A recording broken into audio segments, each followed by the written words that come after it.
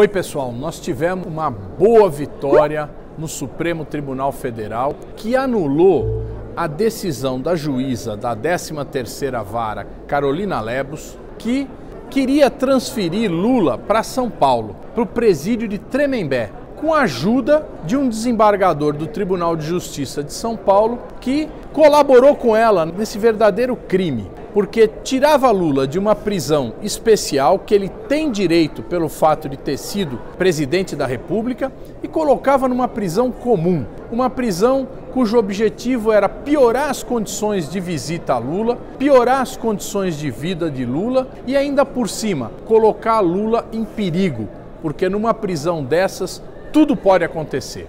Nós tivemos uma boa articulação aqui na Câmara. A denúncia desse fato correu como um rastilho de pólvora. E todos os partidos do campo democrático, mesmo partidos de centro-direita, se solidarizaram com Lula contra essa arbitrariedade.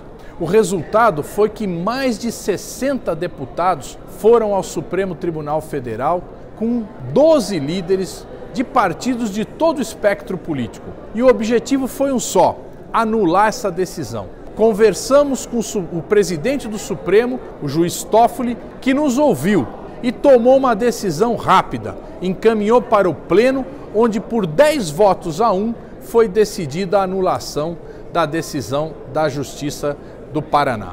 Então, minha gente, isso demonstra duas coisas. Primeiro, a Operação Lava Jato com todas as suas arbitrariedades que a cada dia vêm sendo reveladas pelo The Intercept, pela Folha de São Paulo, pelo UOL, pelo El País, toda essa, essa, essa operação Vaza Jato, que está mostrando o, a profundidade da Lava Jato e os crimes que foram feitos na Lava Jato, está desmoralizando essa operação. E isso é um primeiro ponto. Segundo ponto, nós precisamos dar um ponto final nessa ideia de criminalizar a política no Brasil. Nós precisamos é permitir a política e permitir as liberdades democráticas. Bolsonaro, com a ajuda de Moro, tem trabalhado para diminuir as liberdades, atacado os sindicatos, atacado os movimentos sociais. Em São Paulo, nós já temos quatro pessoas presas no movimento de moradia e mais 15 que estão com pedido de prisão preventiva